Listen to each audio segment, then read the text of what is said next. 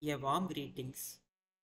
Myself, I am Dr. K. Venkatachalam, Assistant Professor, Department of Mathematics, KSR College of Arts and Science for Women, Tiruchengode, Namakkal. We are going to see the connected set.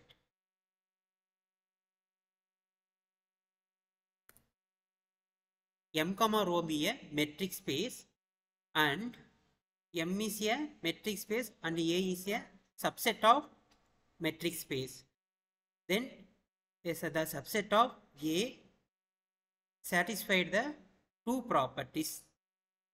First properties non-empty set A1 and A2 of metric space such that A1 union A2 equal to A, comma closure of A1 intersection A2 equal to empty and A1 intersection A2 closure of A2 equal to pi. And then second properties uh, metric space A comma rho then no expect of the set A and pi which is bo- uh, both open and closed. Then A is connected. Next we see the theorem. The subset of A and R dash is connected if and only if whenever A belongs to capital A, B belongs to capital A with A less than B. Then we have to prove that C belongs to A for any C such that open interval A comma B belongs to C. That is whenever A belongs to A comma B belongs to A then A comma open interval A comma B contained in the subset of A. Prove. First suppose that A contained in R dash and there exists a A belongs to capital A, B belongs to capital A with A less than B. The number of C belongs to R power 1 minus A with interval C belongs to open interval A comma B.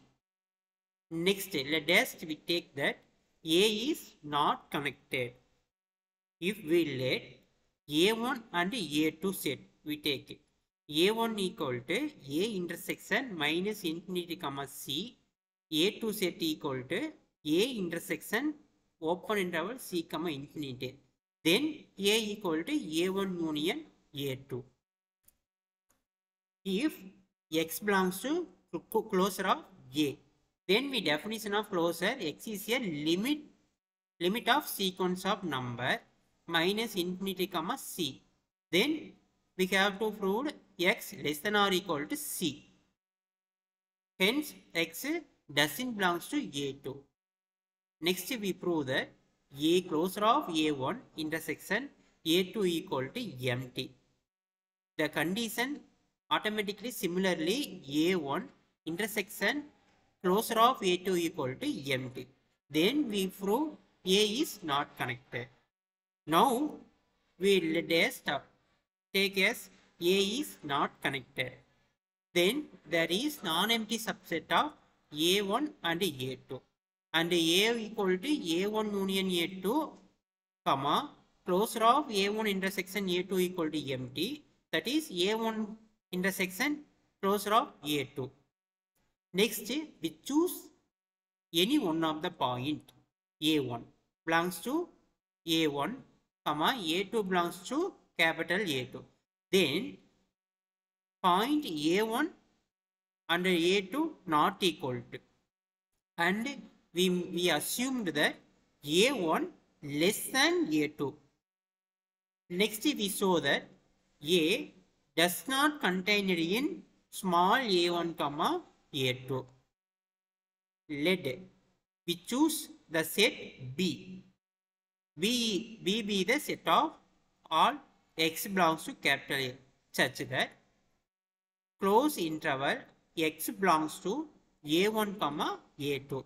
That is B equal to a1 intersection a, a1 comma a2. Then B is a bounded non-empty set of real numbers. Already we know that if A is any non-empty subset of R that is bounded above, then A has, A has a least upper bound in R. That is has a least upper bound of closure of A. Now we, now closure of A belongs to capital B closure. Hence, B contained in A1, we have closure of A contained in A1 closure. Hence, we have to prove hence a closure of A doesn't belongs to A2. Then A closure of A belongs to open interval A1 comma A2.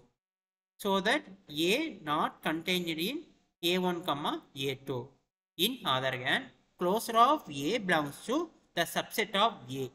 Then closure of A not equal to the subset of A1. Hence, A is a, a closure of A is a not limit point of A2. Hence, there is a number C with closure of A less than C less than A2 such that C doesn't belongs to A2. Automatically, we proved that A1 less than C less than A2. This proves that A does not contain to A1 comma A2. Thank you.